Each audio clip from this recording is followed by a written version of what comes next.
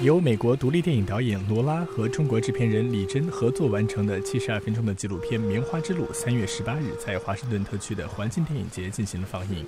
影片通过朴素唯美的镜头语言，还原了纺织制造业全球供应链的原貌。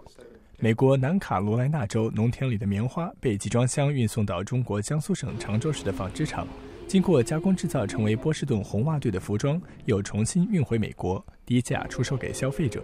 导演罗拉说：“消费者往往意识不到廉价时尚背后有着高昂的代价。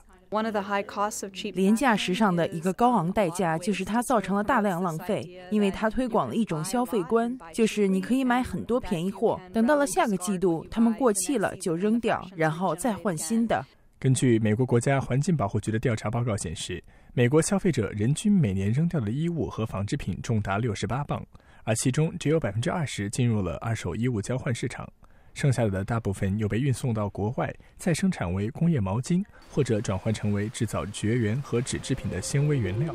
世界自然基金会负责人马特麦方补充说：“廉价时尚的代价是长远的。当地河流受到污染，工人工作条件糟糕，报酬低廉，权益得不到保障等等。而且，如果您考虑到全球气候变化，它的代价一点也不低。威尔逊中心中国环境论坛主任吴兰表示，在美国，棉花种植使用的大量化肥会对土壤造成污染；在中国，印染厂造成了严重水污染。目前，超过百分之三十的中国水源由于污染严重，已不适宜人体直接接触。该影片还介绍，尽管纺织厂工人工作环境艰苦，且没有工会为工人争取权利。但仍然有大量的农村人口来到城市寻找这样的工作。如果工厂被要求在有限的价格范围之内完成订单，而他们无法完成，那么他们为了在这个竞争激烈的行业生存，必须极尽其能，想方设法降低成本。所以不幸的是，最终受苦的是工人们，因为他们不仅工资被削减，还要工作更长的时间。受到2008年经济危机的影响。美国商家的订单数量比以往大幅减少，并逐渐将生产基地转移到了劳动力成本更低的孟加拉国和越南。这也对中国纺织业造成了冲击，许多厂家倒闭，剩下的则艰难为生。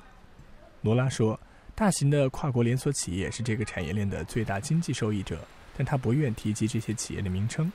此外，影片并没有直接探讨纺织业对于环境的影响，而是通过很含蓄的方式。用画面中昏暗的天空和浑浊的河水来暗示，罗拉希望借助这部影片让消费者了解廉价时尚背后的产业链，减少浪费，同时监督企业控制污染排放，并尊重劳工权益。他还期待《棉花之路》能在中国放映。